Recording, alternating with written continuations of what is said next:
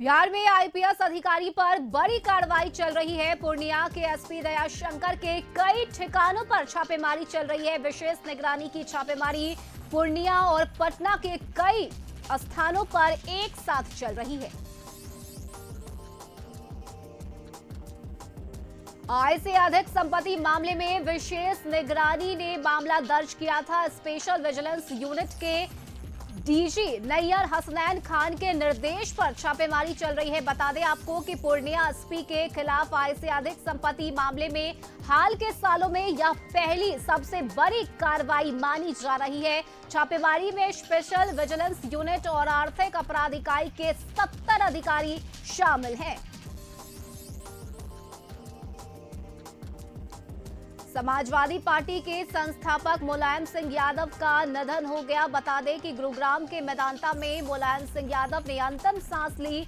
मुलायम सिंह के निधन पर मैदानता ने बुलेटिन भी जारी किया। ऐसे में बता दें कि बीते कई दिनों से उनकी हालत चिंताजनक बनी हुई थी। उनकी तबीयत में खास सुधार नहीं आ रहा था और आखिरकार उनके निधन की खबर सोमवार को सामने आई।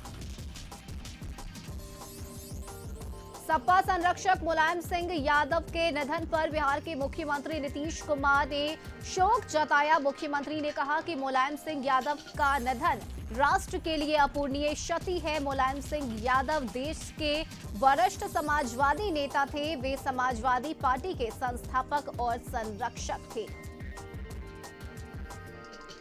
यूपी के पूर्व सीएम मुलायम सिंह यादव के निधन पर बीजेपी नेता अर्पना यादव ने ट्वीट कर शोक जताया। बीजेपी नेता अर्पना यादव ने ट्विटर और फेसबुक के माध्यम से नेताजी के निधन पर शोक व्यक्त किया। अर्पना यादव ने लिखा कि, मेरे गुरु धरती पर पुत्र नेताजी, अब मेरे लिए पिताजी आज गोलोकवासी हो गए। सत्य है कि धरती पर शरीर रूपी जीव नश्वर है और इस सत्य की वेदना सहन करने की मुझे और नेताजी से प्रेम करने वाले सभी लोगों को ईश्वर शांति दे। मुलायम सिंह यादव के निधन के बाद मैनपुरी सपा कार्यालय में मातम पसर गया। कार्यकर्ताओं ने कहा कि आज उन्होंने अपना भगवान खोया। बता दें कि मुलायम सिंह यादव मैनपुरी से ही सांसद थे। वहीं उत्तर प्रदेश के पूर्व मुख्यमंत्री और समाजवादी नेता मुलायम सिंह यादव के निधन पर कांग्रेस पार्टी के कई नेताओं ने गहरा दुख जताया और कहा कि उनका निधन देश के लिए एक अपूर्णीय क्षति है। यूपी के पूर्व मुख्यमंत्री और समाजवादी पार्टी के संस्थापक और संरक्षक मुलायम सिंह यादव का आज अंतिम संस्कार किया जाएगा। अंतिम संस्कार उनके पैतृक गाँव सेफई में किया जाएगा। बता दें कि बेरासी वर्ष की उम्र में सोमवार को गुरुग्राम के मेदांता अस्पताल में मुलायम सिंह ने अंतिम सांस ली। ऐसे में सपा नेता के अंतिम दर्शन करने के लिए कई दिग्गज पहुँच सकते हैं। पीएम नरेंद्र मोदी के भी अंतिम संस्कार में शामिल होने की संभावना है। वहीं बता दें आपको कि सीएम योगी ने सिपाही पहुंचकर मुलायम सिंह यादव को श्रद्धांजलि दी और इसके साथ ही सिपाही में नेताजी के अंतिम संस्कार में वीवीआईपी शामिल होंगे। लोकसभा के स्पीकर ओम बिरला, रक्षा मंत्री राजनाथ सिंह, जेडीयू नेता केसी त्यागी और साथ ही बिहार के डिप्टी सीएम तेजस्वी यादव, झारखंड के सीएम हेमंत सोरेन मोला जो है, वो भी अंतिम संस्कार में पहुँचेंगे और इसके साथ ही मुख्यमंत्री नीतीश कुमार की बात करें तो वो कल सेफई पहुँचेंगे। केंद्रीय गृह मंत्री अमित शाह, लोक नायक जयप्रकाश नारायण की जयंती पर उनके पैतृक गाँव सारण के सताब दियारा जाएँगे और वहाँ दो घंटे तक रहेंगे। वाराणसी होकर अमित शाह जेपी के गाँव पहुँचेंगे और उसी रास्ते दिल्ली लौटेंगे। केंद्रीय गृह मंत्री अमित शाह और यूपी के मुख्यमंत्री योगी आदित्यनाथ जेपी की प्रतिमा पर माल्यार्पण कर उन्हें श्रद्धांजलि अर्पित करेंगे।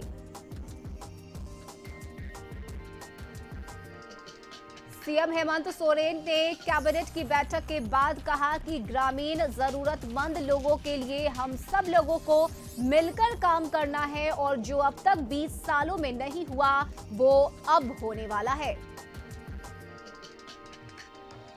दिल्ली में आरजेडी के महामंथन के दूसरे दिन तालकटोरा स्टेडियम में आरजेडी के राष्ट्रीय अध्यक्ष के तौर पर लालू यादव की ताजपोशी हुई।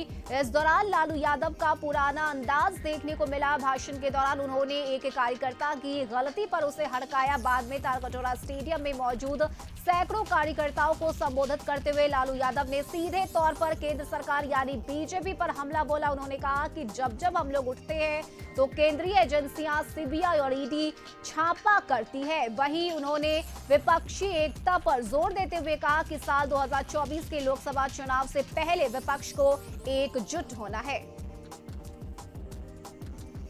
वहीं आरजेडी नेता और बिहार के डिप्टी सीएम तेजस्वी यादव ने भी क्षेत्रीय दलों की एकजुटता पर ज़ोर दिया और सीधे तौर पर बीजेपी के विरोध और समर्थन की बात कही। उन्होंने कहा कि या तो बीजेपी के पक्ष में रहिए या फिर उनका विरोध कीजिए। इससे पहले कार्यकारिणी की बैठक में पास हुए तीन प्रस्तावों पर राष्ट्रीय परिषद ने मुहर लगाया।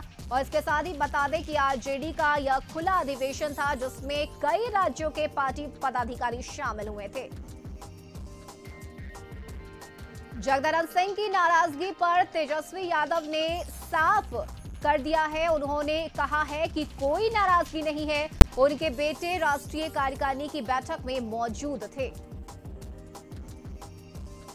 लालू यादव के आरजेडी के राष्ट्रीय अध्यक्ष बनने पर बीजेपी प्रदेश अध्यक्ष संजय जायसवाल ने तंज कसा। उन्होंने कहा कि आरजेडी पारिवारिक पार्टी है। लालू यादव के बाद तेजस्वी यादव ही राष्ट्रीय अध्यक्ष होंगे।